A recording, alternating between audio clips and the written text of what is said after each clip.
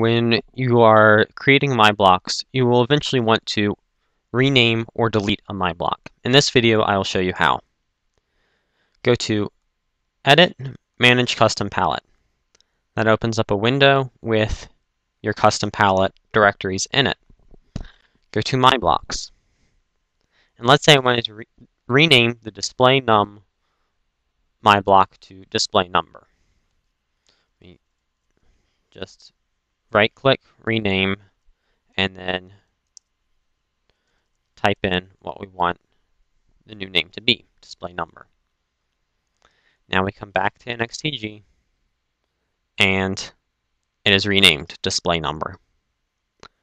Let's say we didn't like that block at all and wanted to completely delete it.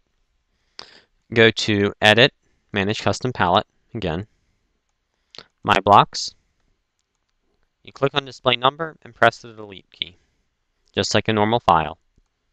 And it goes away from your custom palette. Be warned, however, that any programs that use the display number block will no longer load properly because they're missing that block. They can't access that file and it can't compile or download to the NXT. So be careful when you're deleting my blocks.